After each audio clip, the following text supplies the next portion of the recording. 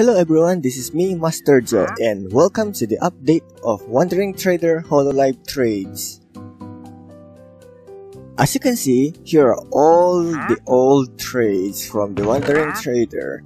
Uh, these are all the Hololive members had from Gen 0 to Gen 5 plus Holo ID first gen and Holo EN and that includes Achan and me.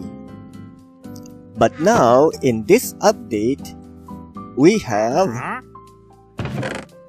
Crazy Ollie and Reine. Sadly, there's no Anya cause she's not played Minecraft yet, but if she plays Minecraft, I'll post an update here on my YouTube channel and I'm gonna include her.